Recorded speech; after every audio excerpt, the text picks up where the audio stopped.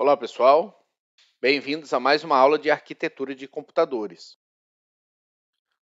Hoje vamos continuar no tema de álgebra booleana e vamos falar sobre os postulados e identidades da álgebra booleana. Esses postulados estão ligados à nossa necessidade de simplificação de circuitos lógicos. Até agora a gente trabalhou com os circuitos lógicos sem nos preocuparmos com a simplificação. Na prática, porém, esses circuitos obtidos uh, de determinados é, problemas geralmente é, admitem simplificação. Para tal, é preciso fazer um breve estudo da álgebra de Boole, pois através de seus postulados, propriedades, teoremas fundamentais e identidades, efetuamos as mencionadas simplificações. Então, nós temos aqui do lado direito na figura dois circuitos equivalentes. Um circuito com uma, duas, três, quatro, cinco, seis portas lógicas, as duas portas NOT, oito portas lógicas. Ele tem o mesmo é, efeito do circuito abaixo, que tem apenas duas portas lógicas. Então, é, a simplificação do circuito é muito importante, principalmente para o barateamento do projeto. Ah, nós temos aqui alguns exemplos de custo de uma porta lógica, de um CI, né, na hora de você é, fazer o seu, o seu projetinho é, em, em, casa, aí, brincando um pouco com, com portas lógicas ou com é, algum sistema fazendo a sua prototipagem, né? Uh, as portas lógicas têm um determinado custo. Então a gente tem aí uma porta é, lógica AND, que está custando aí R$ 4,90, em outro site custa R$ 2,19, temos outro site é, 2,35. Dentro de um circuito lógico desse nós temos algumas portas lógicas, aí depende do, do modelo e do, né, pela, pelo datasheet nós vamos verificar. Nessa daqui, por exemplo, a 74HC21, nós temos duas portas END de quatro entradas neste é, circuito. Então, cada um desses circuitos é, difere um pouquinho. Esse aqui é o HC08, é uma END com quatro portas é, END, se não me engano. Então, você tem vários tipos de portas lógicas que você pode adquirir em uma loja dessas de, de de componentes eletrônicos e montar né, o seu projeto, o teu, teu protótipo. E a simplificação é muito importante para reduzir. Quanto menos portas lógicas utilizar, mais barato o projeto, melhor né, o desenvolvimento do teu, do teu protótipo, do teu produto que você queira fazer com é, circuitos integrados. Então vamos começar falando da identidade da complementação. Tá? Os postulados da complementação, que a gente aprendeu já na outra aula sobre porta é, lógica é uma porta invensora. Então, nós temos aqui a tabela verdade da porta NOT. Sabemos que se A é 1, não A é 0. E se A vale 0, não A vale 1. Muito bem. Então, através dos postulados da complementação, nós sabemos que se A vale 0, não A vale 1. Se A vale 1, não A vale 0. A partir disso, nós podemos chegar à identidade da complementação descobrindo que não não A é igual a A. Porque se A vale 1, não A vale 0. Se não A vale 0, não não A vale 1. Então, dessa forma, não não A é igual a uma dupla negação é uma afirmação neste é, através da identidade da complementação. Então, essa é uma das primeiras identidades que a gente aprende, sabendo então se A vale 1, não A vale 0, não A valendo 0, não não A vale 1. E com isso temos a nossa primeira identidade. A segunda identidade que nós vamos aprender é a identidade da adição. Os postulados da adição nós também já aprendemos na, na aula anterior sobre porta lógica. Então, essa daqui é uma porta lógica OR. Então, a adição, a identidade da adição é implementada pela porta lógica OR. onde nós aprendemos que 0 ou 0 é igual a 0, 0 ou 1 é igual a 1, 1 ou 0 é igual a 1 e 1 ou 1 é igual a 1. Então, nós temos aqui os postulados da adição são implementados na porta lógica OR. Uma vez que sabemos dos postulados da adição, vamos chegar à identidade da adição através de alguns, é, algumas deduções básicas. Então, o primeiro delas, da identidade da adição, nós sabemos que A ou zero é igual a A. Uma vez que A vale zero, então, pelo postulado da adição, nós temos que zero ou zero é igual a zero. E A valendo 1, nós temos 1 ou 0, que é igual a 1. Então, dessa forma, o resultado vai ser sempre o valor de A, independente do segundo é, valor sendo zero. Então, dessa forma, sabemos que A ou 0 é igual a A. O próximo é, identidade da adição é que se A ou 1 é igual, o resultado sempre será 1. Então, se A vale 0, nós temos 0 ou 1, a saída vai ser 1. Se A vale 1, 1 ou 0 vale 1. Então, independente né, do valor de, de A, aqui, se o segundo item for 1, a saída será 1. Então, A ou 1 é igual a 1. Muito bem. Continuando. Se A ou A, nós temos que A ou A é igual a A. A valendo 0, 0, 0 é 0. A valendo 1, 1 ou 1 é igual a 1. Então, o valor de A, A ou A, como identidade da adição, resultado é A. E última identidade da adição, nós temos que A ou não A é igual a 1. Então, A vale 0, não A vale 1. 0 ou 1, resultado é 1. A vale 1, não A vale 0. 1 ou 0, resultado é igual a 1. Então, nós temos que A ou não A, o resultado será igual a 1. Então, nós temos aí as identidades da adição, as quatro possibilidades da identidade da adição. Vamos agora para a identidade da multiplicação. Os postulados da multiplicação a gente aprendeu também na outra aula. É, tabela verdade, porta AND, 0 e 0 é 0, 0 e 1 é 0, 1 e 0 é 0, 1 e 1, a saída é 1. Então, postulados da multiplicação, vamos passar às identidades da multiplicação. Dessa forma, nós sabemos que A e 0, o resultado sempre será 0, porque se o A vale 0, 0 e 0 é 0, se o A vale 1, 1 e 0, saída é 0. Dessa forma, A e 0 é igual a zero, independente do valor de A. A e 1, o resultado é igual a A. A igual a 0, 0 e 1, 0.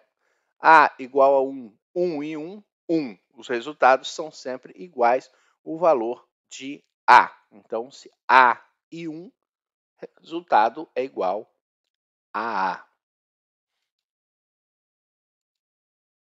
Próximo, é, identidade da multiplicação, A e A, a saída é igual a A. Se A vale 0, 0 e 0, saída é 0. Se A vale 1, 1 e 1, a saída é 1. Então, a saída também sempre será igual o valor de A. Dessa forma, A e A, a saída é igual a A.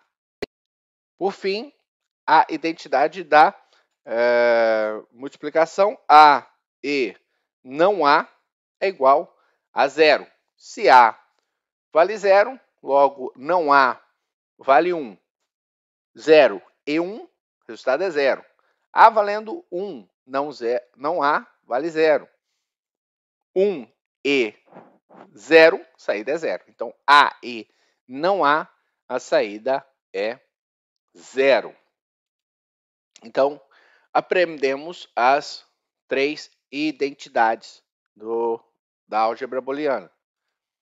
Identidade da complementação, onde não não há é igual a A. A identidade da adição, onde A ou 0 é A, A ou 1 é 1, A ou A é A, A ou não há, a saída também é 1. E a identidade da multiplicação, onde A e 0, a saída é 0, A e 1, a saída é A, A e A, a saída é A, A e não há, a saída é 0. Uma vez que aprendemos as identidades, a complementação da adição e da multiplicação, nós já podemos começar a reduzir alguns circuitos. Vamos pegar esse circuito como exemplo, transformado circuito para expressão, já vimos em outra aula também. É importante que você tenha revisto as outras aulas. É... E vamos então identificando as portas do nosso circuito. A primeira porta NOT, vamos marcar ali como 1. A segunda porta NOT, vamos marcar como 2. Temos uma porta AND, marcar como 3. Uma porta OR, marcamos como 4 outra porta OR 5, outra porta END 6, outra porta OR 7, outra porta OR 8. Muito bem, então identificamos todas as portas lógicas. Vamos começar a tirar a expressão desse circuito. Então, a porta, a, a, o valor de 1 é uma negação de A. O A está entrando numa porta NOT, então 1 é não A. O 2 é uma negação novamente, então o 2 está negando a nossa é, identificada aqui como 1. Então, 2 é igual não 1. 3. 3 está entrando a saída de A de 2 e a saída de A. Então, nós temos que, na porta 3, temos A e 2. Na porta 4, nós temos 2, novamente, descendo aqui no circuito, ou A. Então, A está entrando junto com a saída da porta identificada como 2. 5, nós temos 2 ou 3. Está entrando saída de 3 aqui e saída do 2. 6, 4 e 1. Está entrando aqui a saída da porta identificamos como 1. 4 e 1. 7, nós temos aqui porta 1 também entrando ou a saída da porta 6. Então, aqui é 1 ou 6. Por fim, a porta identificada como 8 recebe a saída da porta 5, 5 ou a saída da porta 7. Então, fica 5 ou 7. Muito bem, uma vez já identificamos todas as partes da nossa, do nosso circuito, vamos começar a montar a expressão. Para montarmos a expressão, sabemos que a saída recebe a porta 8, então S é igual a 8 e vamos começar a substituir. 8 é igual a 5 ou 7. 7 vamos substituir por 1 ou 6. 6 vamos substituir por 4 e 1. 5 vamos substituir por 2 ou 3. 4 vamos substituir por 2 ou A. 3 vamos substituir por A e 2. 2, temos vários 2 aqui na, na fórmula. Vamos substituir por não 1. E por fim, onde tem 1, vamos substituir por não A. Então chegamos é, ao circuito, a, a expressão referente ao circuito que recebemos. Essa é igual não não há ou A e não não há ou A ou não há, perdão, ou não não há ou há e não há. Essa é a expressão de saída daquele circuito que recebemos. Agora vamos começar a reduzir circuito. Através da identidade da complementação, sabemos que não não há é igual a A. Então, nós temos aqui três casos na expressão, que é o não não há, não não há e não não há. Vamos substituir por A. Então, nós temos aqui o A ou A e A, ou não há, ou A, ou A e não há. Muito bem. Vamos agora para a identidade da adição. Nós temos aqui o A ou A. A ou A, a saída é igual a A. Então, podemos substituir A ou A por A. Já foi reduzindo a nossa é, expressão. A ou A e A, ou não há, ou A e não há. Próxima, identidade da multiplicação. Nós temos aqui A e A e A e não há. Substituindo, nós temos A e não há vale zero, passa a valer zero, A e A valendo A. Continuando, nós temos ainda a identidade da adição e vamos começar a diminuir ainda mais o nosso circuito. Nós temos aqui não A ou zero, então nós temos aqui A ou zero equivale a A e é importante que você atente a esse detalhe. A identidade da adição diz que A ou zero é igual a A. Este A pode ser qualquer termo, certo? Ele pode ser um, um termo composto, ele pode ser também um termo que está negado. Então, o que significa na identidade da adição que A ou zero é igual a A, significa que qualquer termo ou zero equivale a este termo. Então, no caso que nós temos aqui não há ou zero, a saída significa não há, que é o termo original que a gente está operando aqui na identidade da adição. Então, não há ou zero, pela identidade da adição que é A ou zero igual a A, fica não há, permanece essa negação. Agora nós vamos para A ou não há. A ou não há, nós temos 1. Então, A ou não há, vale 1 pela identidade da adição. E A ou 1, a saída também é 1. Então, nós conseguimos reduzir todo aquele circuito sabendo que a saída vai ser sempre verdadeira. Sempre a saída daquele circuito será verdadeiro. Então, nós reduzimos este circuito complexo para esse pequeno circuito, sabendo que a saída é verdadeira. Para representar a saída verdadeira, nós podemos usar o A ou não há. Então, nós temos um não há e uma porta é, OR aqui. Ou se nós tivéssemos sempre uma saída verdadeira, podíamos ligar a saída, a, o valor do 1 direto na saída. Saída desse circuito sempre será verdadeira. Vamos ver no simulador como é que fica. Aqui nós temos, então, o circuito acima. A valendo zero, a saída vale 1. No circuito que nós reduzimos também vale 1. Se A vale 1, a saída também será 1. Então, neste caso, todas essas portas aqui são substituídas por uma única porta OR, recebendo a entrada de A e uma entrada da negação de A, que a saída será sempre é, verdadeira. Então é isso, pessoal. Aprendemos alguns algumas identidades hoje da complementação, da adição e da multiplicação, e nas próximas aulas vamos ver os postulados. As referências são do livro do Idueta e Capuano, Elementos de Eletrônica Digital. Bons estudos e até a próxima!